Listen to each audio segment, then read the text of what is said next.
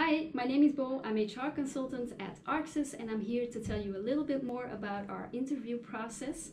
So if you send us your resume and your motivational letter, I will be the first one to contact you to get to know each other.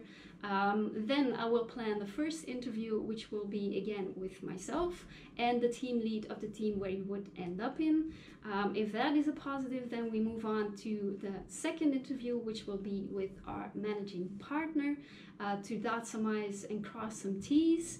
Um, and then we will move on to a more informal meeting, which we call the Meet a Team formula, where you can meet your potential future teammates and see if there is a connection with each other.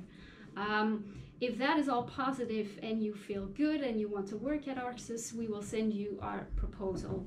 Um, and then we'll take it from there. So if you want to work at Arxus, don't hesitate, just fill in this form and I'll contact you very soon. See you then. Bye.